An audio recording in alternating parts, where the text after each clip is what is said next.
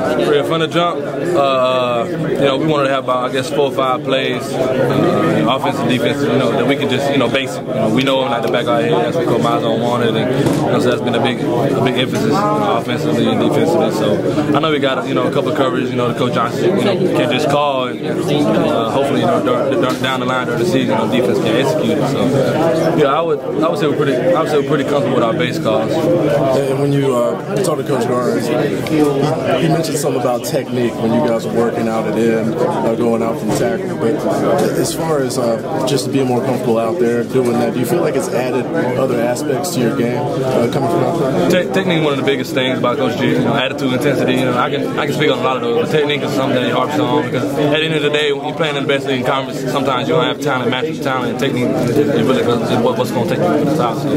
And, and, and, really and truly, it's really just the little things with feet, feet work, hands, and, and um, you know, flipping our hips. But it's, it's uh, you know, it's hard, you know, just to have 15 practice, you know, to really work on that. So I put our guys individually during the summer, and when they have off time, I have to do those things on their own. So, so was that is that something that you got in the schedule now, as far as individual work? You guys, is that something that you coordinate? Uh, me myself, you know, saying, you know, Coach G, he says a lot this year. He gonna let us kind of handle things. Five scenes, you know, that's how it should be done. Um, Jeff, Jeff's a super senior, so uh, having that back too. But you know, working with Chuck Smith, uh, you know, getting past his work in. But really, I mean, that's the thing about you know, guys. You know, he doesn't want guys to talk about being great. You know, including, myself. Um, you, know, you got to be a man about your word. You know, so working out away from the complex, you know, or on your own, you know, is, is really important moving forward. Appreciate it.